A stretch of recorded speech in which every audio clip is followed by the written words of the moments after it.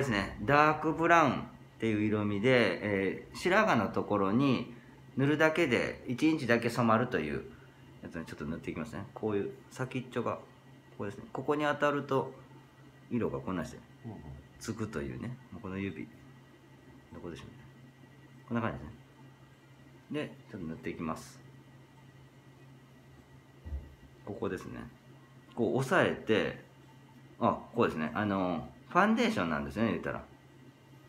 でもすぐにつくいう感じじゃないですね。何回かこすってここの部分ですね。こここが白髪の部分でこっちを塗った部分です。まあなんて言うんでしょうね。家で自分でするっていう簡単な感じではないですね。すぐ僕の印象なんですけどすぐつくんかなと思ってましたけど何回かこすらんと、絵の具じゃないですけど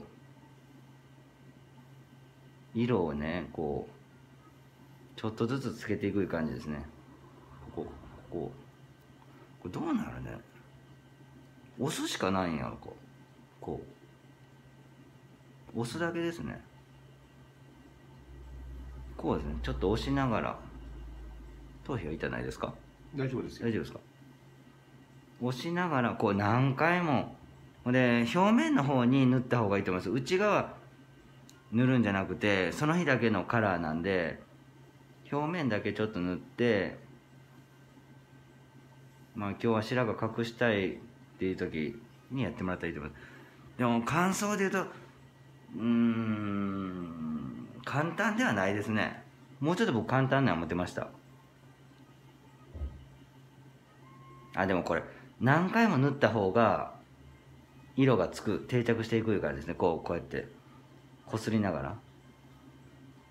うん。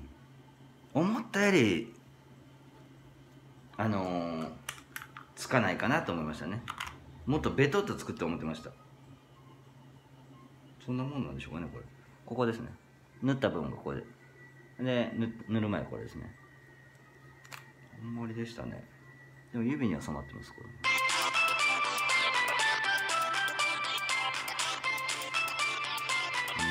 簡単ではないです。